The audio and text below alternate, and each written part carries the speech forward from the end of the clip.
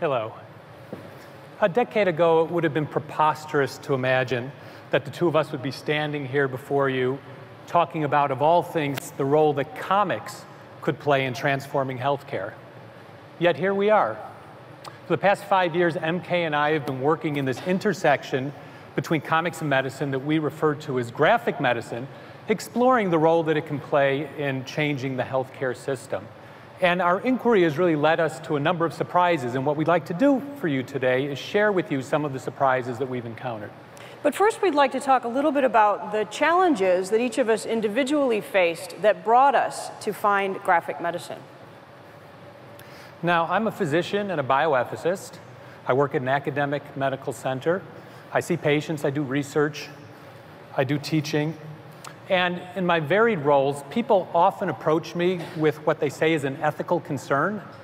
And my experience has shown me that when some people come to me and say, you know, I've got an ethical problem I'd like you to think about, it's not really an ethical problem. Oftentimes, it's a problem with communication, or it's a problem with not fully understanding the patient's experience of illness. And the toolbox that we use in ethics to deal with ethical problems is not really ideally suited for addressing these concerns. And I'm a nurse and a comic artist. My clinical experience is in HIV AIDS care and in hospice care.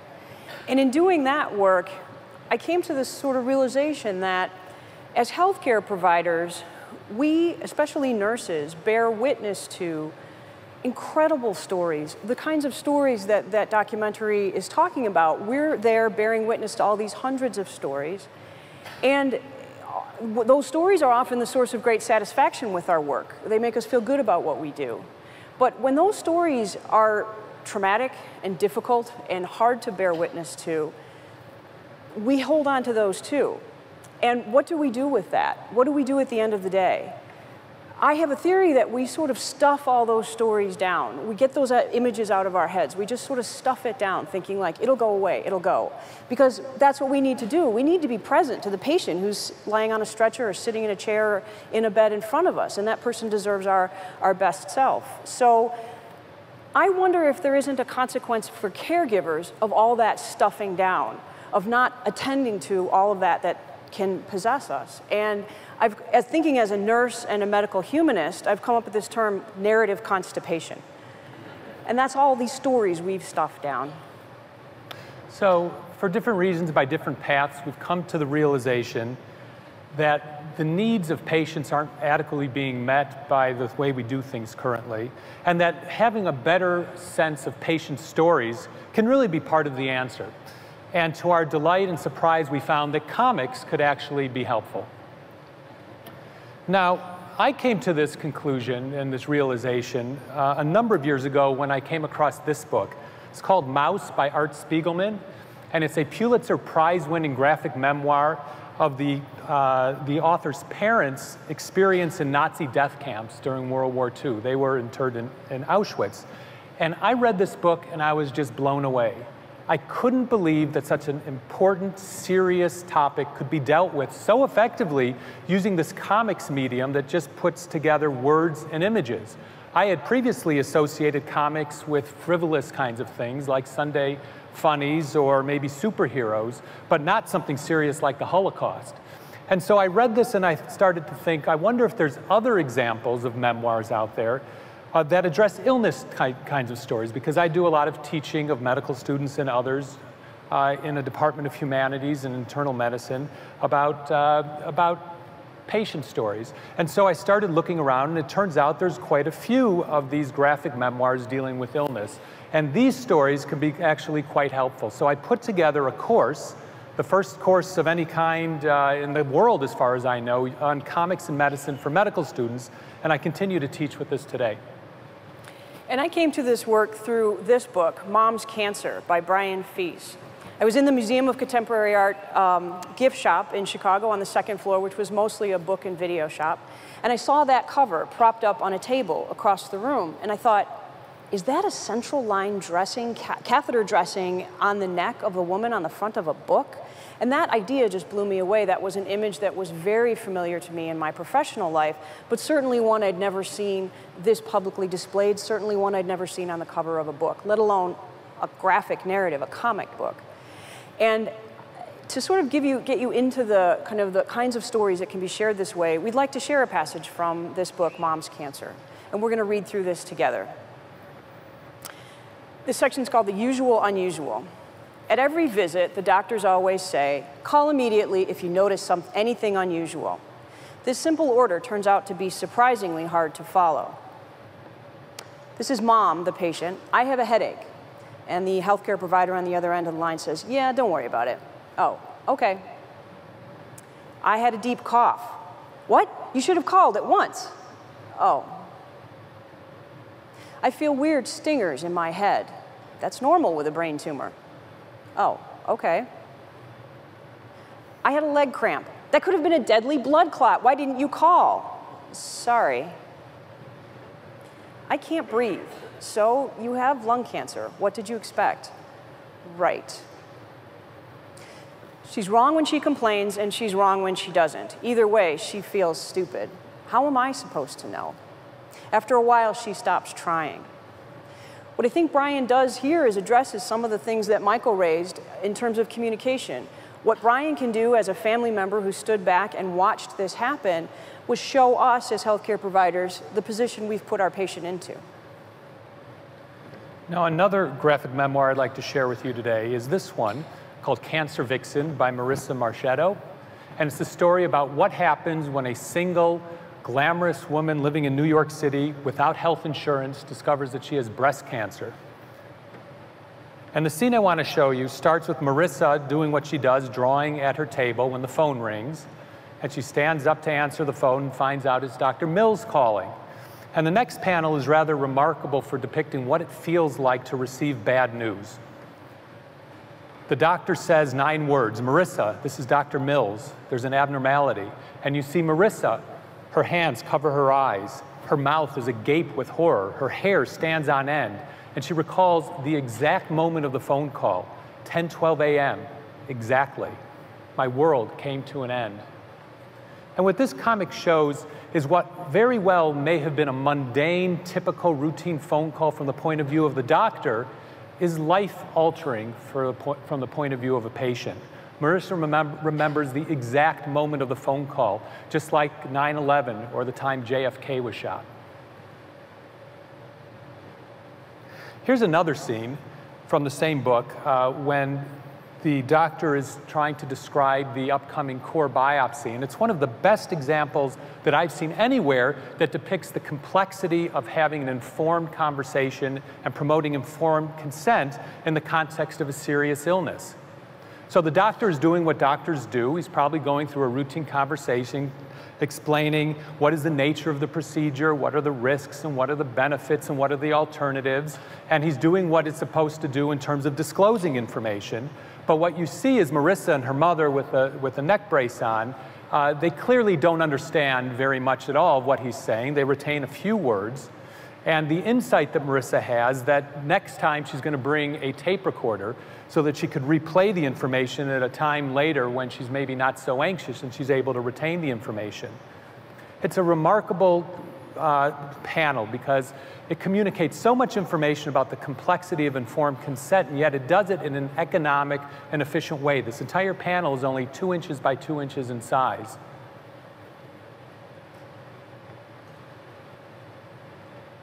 Here's another example from Cancer Vixen, which shows what it's like to live with cancer.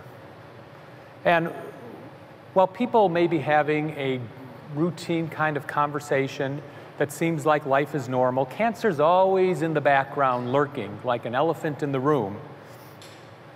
And there's nothing routine about it. And what's particularly interesting to me about this is the way the artist uses graphic elements in this picture. In, the, in this case, the words cancer, cancer, cancer, cancer, which actually, the words themselves evoke what cancer cells are like in real life. They're uncontrollable, they're irregular, they're, they're, um, they know no boundaries. And uh, she does this with the drawings as well as the words.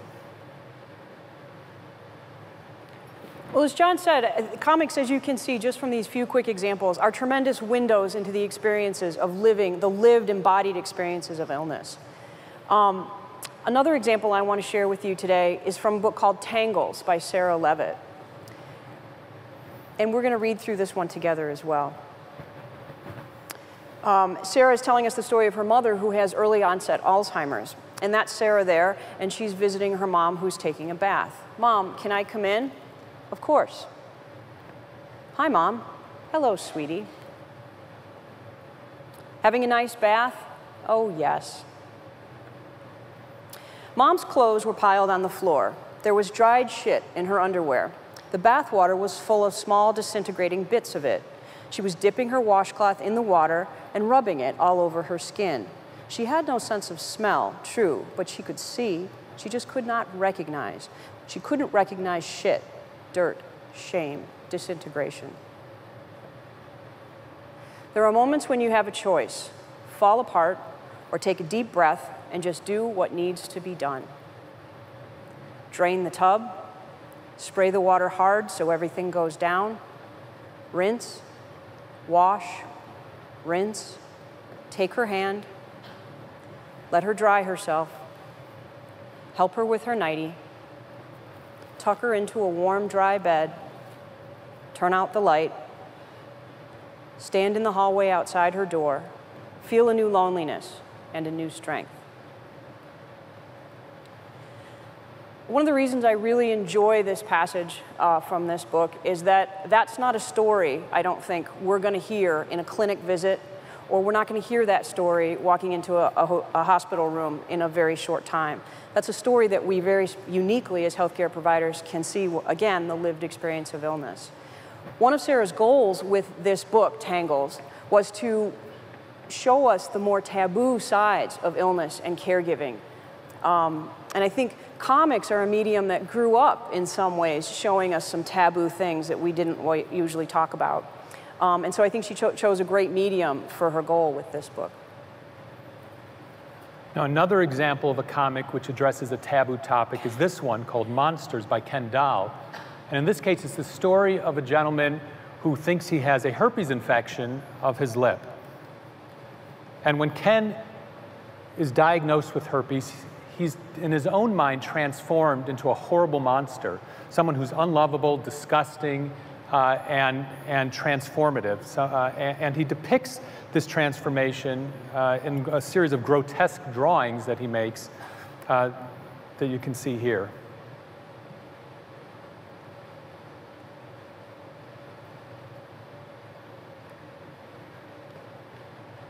Now, not only are comics effective for depicting, depicting physical illness, but they're also quite effective for depicting what it's like to live with mental illness. And this story, Marbles by Ellen Forney, does a wonderful job of demonstrating what it feels like to have bipolar illness or manic depression. So here she shows what it's like to be manic the flight of ideas, the rapid speech, the uncontrollable uh, um, thoughts and so on. And later she shows what it feels like to be depressed. And Ellen uses this wonderful visual metaphor of a carousel to show what it's like to have the ups and downs that are characteristic of manic depression. Something that can't be done quite so effectively using other mediums. The graphic novels that we've shown you are predominantly um, graphic memoir. So the person creating it is someone living with the illness or a family member, or a caregiver. Um, and there's a vast body of these works already out there. Here are a few more samples. Um, they cover a wide range of body systems and diagnoses. I think you'd really be surprised um, how wide a range of, of illnesses are covered by these kinds of graphic novels. And there's a website called graphicmedicine.org that was set up by a doctor in the UK who was doing a thesis in medical humanities and wanted to kind of take a look at this. Uh, it was through that website that Michael and I met. We've since redesigned that website to be helpful to healthcare providers and people working in healthcare so that they can take a clinical interest area, say organ transplant, put that in as a keyword search and get the resources that are available in comics and graphic text, patient education comics, kind of what's available. Uh, and we are constantly rebuilding that website from the, the back and trying to gather information to be a resource for comics in medicine. The physician who set up that website initially, I mentioned, his name is Ian Williams. He's a doctor and also a comic artist. And he did this illustration for an article in the Journal of Medical Humanities. And I really like it because I think it captures what can happen. Um, the comic creator and the comic reader, through the work, can form an empathic bond. And if you think about the kinds of comics we've been showing you, that can really be very productive in this in healthcare. And not only are comics great for demonstrating the patient's experience of illness, we've also found in our work that making comics can have a useful role to play in medicine. As I mentioned in the beginning, I'm a comic artist in addition to being a nurse, and I didn't start out intending ever to be a comic artist. Um, I found myself making my first comic one morning after, um, during the AIDS crisis, working on a dedicated AIDS unit in the um, mid, early, and, and, throughout the 90s actually. And um, a beloved patient had died, and I sat before a white piece of paper trying to get myself ready to go to work that next day and kind of put that, deal with my own stuff.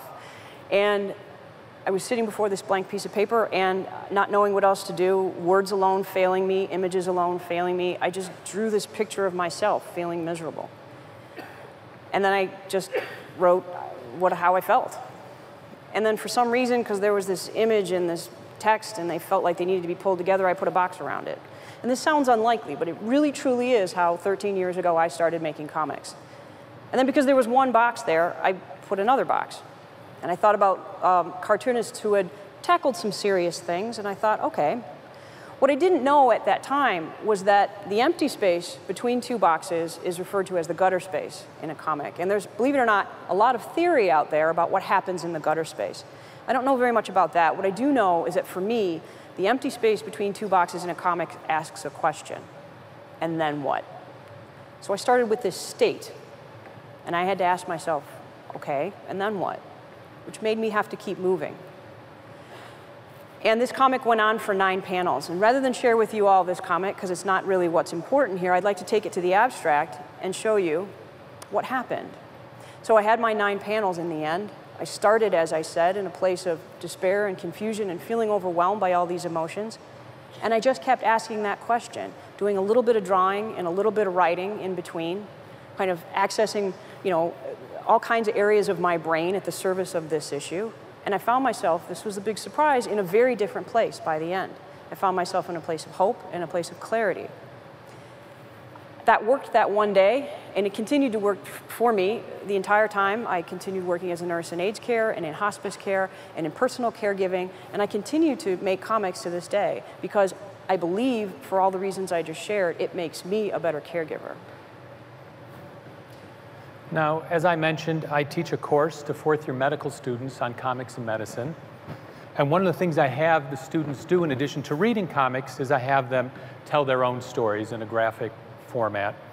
And like MK, medical students by the time of their fourth year medical school have accumulated many experiences and stories, but medical school doesn't really provide much of an outlet for them to process these stories or to creatively express themselves. And so I have them draw comics. I'm going to share some excerpts from one uh, called The Taming, Taming of Tina. This was written by Taylor Olmsted, who is now a pediatric resident.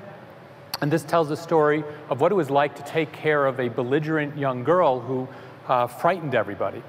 Uh, so here's Tina. She comes to the hospital, and the healthcare providers are freaking out because they find out that she's going to be admitted. And they do their best to make nice to her, but it doesn't work. One of the nurses says, There's no way I'm taking care of that girl. And then enter Taylor. And what's interesting about this is she shows her transformation and maturity through the course of taking care of Tina. First, she depicts herself as a superhero. She's going to save the day. Then she's the eager beaver. She wants to please the attending physician and do whatever it takes. Then she becomes the super sleuth. She's going to be a detective who gets to the bottom of the mystery of Tina. And over time, she matures and she comes to the realization that the reason Tina's ornery is because she has a painful rash on her hip and nobody had uh, discovered this before. And so the story shows how Taylor becomes an empathic healer. She surprises the nurses when she gives Tina a hug goodbye when Tina's being discharged, and she gives a reassuring pat on the shoulder. And we realize that Taylor's going to be a great doctor in the end. And this comic does a great job of showing the transformative power of comics and also for showing complex emotions, which are often very difficult to demonstrate.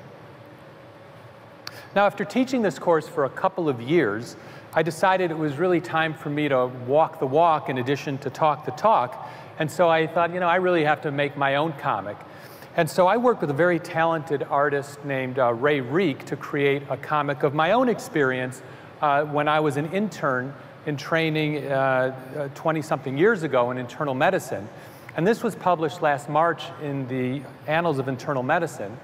And I'm not going to read it for you, but it's called Missed It, and it tells the story of a devastating mistake that I made as an intern, which led to a patient's death, and some of the emotional aftermath uh, for me of, the, of this experience. And this was published uh, in March, and since that time, there's really, I was really taken aback by the outpouring of support that I've received uh, from people who read this who were not only relating to the story and the experience, but also were very supportive of the medium, using comics as a way of telling the story. And I've since learned that uh, this comic has been used for teaching in medical schools across the country on a range of topics, uh, including patient errors, medical diagnosis, even cognitive bias and decision making. It's been really quite gratifying. The last surprise we want to share with you about the work at the intersection of comics and medicine is that Michael and I are not alone. Uh, a few years ago, the first international conference on graphic medicine was held. And since then, we've gathered a great community of people who are all working in this area, each person thinking they were the only person in the world doing this. What we're seeing in the, in the comics and medicine community is a world where people are combining their personal passion with their professional work. And in that, recognizing that we are all, at some point in our lives, patients, and we are all creative beings. Well, so in closing, I want to say that we encourage you to explore the intersection between comics and medicine.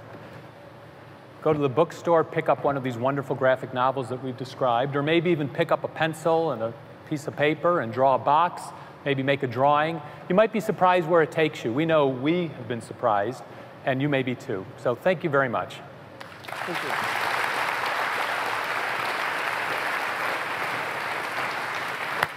You sit down. That was just terrific. I just, um, you know, I find myself sort of mystified about um, why does it work? I mean, I, I actually have always asked that question about comics because I'll be reading a comic and I'll, I'll kind of go, why am I absorbed? I had a very similar experience reading Spiegelman's Maus, and i am a big fan of Artie's, and he's, you know, a dear friend and an unbelievable storyteller. But it, it just seems so magical. Why does it work? You want to take it? Yeah, you know, I think every time I think about answering that question, I have a whole nother answer. And I think that means that there are a lot of answers.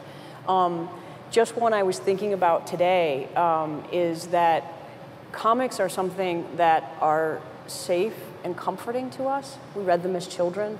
And so then to approach them with a serious, often traumatic, troubling adult experience, it almost feels like a safe place. Um, and there's something too about boxes.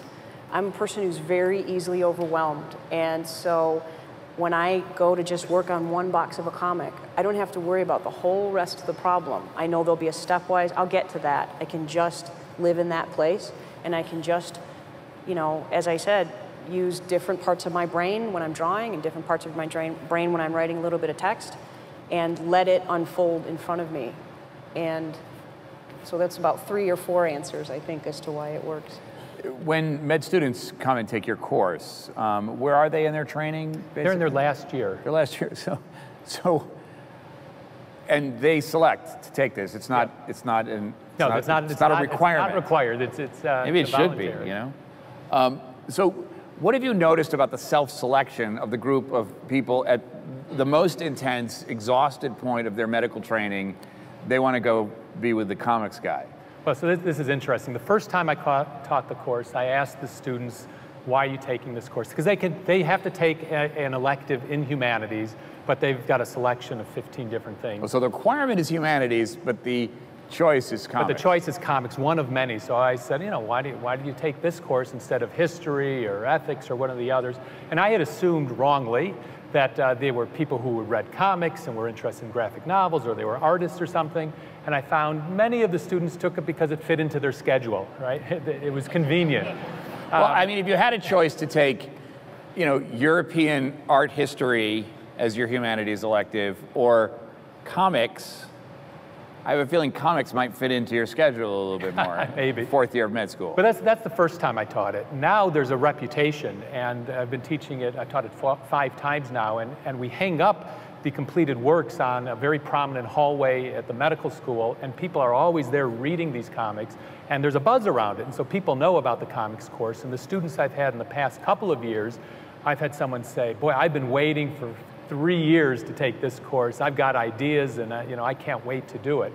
And, you know, they're really, they, they want to have the opportunity to express themselves because there aren't that many opportunities in medical school to do it, at least creatively. You guys ever been to a Comic-Con? Never. I have in Chicago. Yeah, you should go. And I think you should aspire to there being like a whole area at the Comic Con where instead of dressed up as like Green Lanterns, they're dressed up as nurses and doctors. I think you're in that territory. I think you could definitely get there. Um, why does the Tangled story seem to only work in that medium? That you could not tell that story, and maybe it's a restatement of the original question, but in some ways, as a doc, if Pete Nicks were involved in that story with his cameras, we would run away. The characters wouldn't tell the story properly. Um, we might end up being too horrified to retain anything from it. What is it about that medium and how she chose to do that that makes that makes it the only possible way I could imagine that story being told? Right, right. I think there's something about uh, Sarah, the beauty and simplicity of Sarah's style that made that work. The use of stark black and white, um, the, the very strong use of uh, white space. There's a lot of white in that, um, and I think that's part of what makes it feel like something we can get through. Um, and that's, that's, I think, absolute the answer is that she found the style that worked for that story.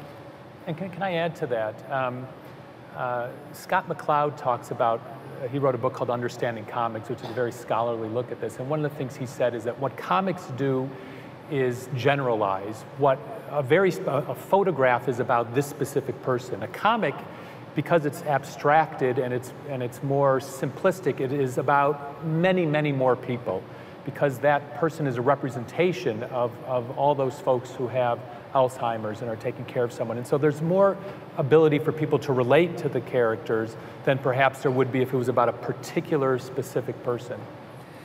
You know, I, I sort of buy that, but it seems like there's a lot more going on also. It, it's almost as though in medicine, and just let's think about all the situations you've described, it's the details that terrify us but it's the emotional simplicity that we're drawn to. It, we think of the emotions as complex, but the, the arrangement of things in the room as simple, but comics say it's actually the opposite. Mm. I, I just, is that your experience that, that patients actually are able to handle complex emotions? It's sometimes the details of medicine that drive them screaming from the room. Yeah. Does that make any sense? Yeah. Yeah, and you know, and I think comics are a strange combination of details and simplicity because you can have so much information done in a deceptively simple manner. It's, the drawings look simple, but there's a lot going on there. And I think it can communicate not only a story, but also emotions, complicated emotions, uh, as well as the details of sort of factually what's going on. And I think they're, they're, they look simpler than they are. There's a lot behind the scenes that, that make a comic work. The story that you told in the, uh, what was it, the Journal of Internal Medicine? Yeah, yeah. Uh, Annals of Internal Medicine. Annals of Internal Medicine, that uh, disclosed your medical error. Yeah. Right. Had you ever publicly disclosed that story before in any other medium? Um, I had written a um, sort of brief story about it in a different format, it, but it had a very different uh, feel to it. And you didn't do the art? No. You just you did the, the panels. Yeah, I worked yeah. with the artists. We worked collaboratively on it. When you think about that uh, story and how difficult it must have been for you to tell, and and all of that. Are you being more candid in the comic medium, or are you hiding more behind the art in the story by disclosing it in that way? What do you think? More candid, less candid? More um, confessional, less confessional. I, I don't know. What, I, you know, I don't. I think equally so. I mean, it feels whether you tell the story by writing it in text or whether you draw it out. I think you feel raw uh, by just telling the story and exposing yourself and admitting that you made a mistake and that you're fallible and human and uh, you know, and something bad happened. And uh, at least for me, it didn't feel more or less. Uh, just it was just a different way of, of sort of exposing this story and, and telling, telling about it. Finally, in terms of transform in this conference and why, why we're all here, um, I think there's a lot of lip service paid to we need to have more humanity in medicine, there needs to be less jargon, it would be better if artists were here, if people could get their constipated narratives out of themselves and, and find some sort of closure, and all that feels very reasonable. But I, am wondering if, over your long experience in working as both artists and practitioners in the field, if you could articulate a different, maybe bigger value of art in medicine that the people in this room could take away beyond have you ever thought about drawing you know a picture of what it is you're going through right now which i think everyone in, in this room has that to take away what is your sense and both of you the value of, of, of art here in this experience? I'll go first. Well, I think you know I alluded to it in my answer before. I think that um, it, it's another access point. It, you know, you, you, talked about the windows. It's a different way in, um, and if you find something that works for you, it's a way to um, do so many things. Like I said, for me, it's a way to manage my own stories and be able to be present to my patients. Um, as a patient education tool, it's a way to reach people that perhaps they're not able to be reached another way. And we didn't talk very much about patient education comics, but it's a big part also of what we do. Um, so I think you captured it so perfectly in your introduction talking about windows because that's it, it's a window, it's a way in, it's an approach that is going to frame things differently as is the goal of this conference. Dr. Green? And as someone who teaches a lot, uh, medical students, residents, uh, faculty, um, I find that art is a way of helping people to be more astute observers of the world around them. It, it helps people be better at seeing things. You to make either to look at art or to make art, you have to look very carefully and you pick up on details.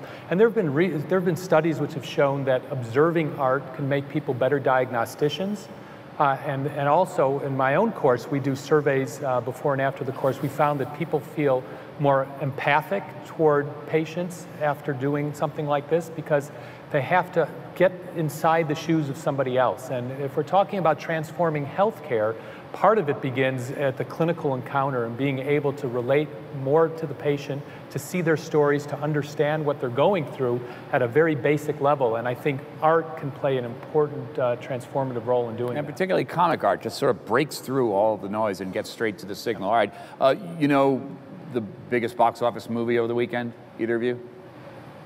Riddick. It, yeah. Hello? Marvel property? Do You guys have agents? what do you think? Marvel, The Orderly, huh? Not a bad idea. Hospice Planet, something like that. Something I'm loving about. it. Thanks, guys. Great. Thank, Thank you. you.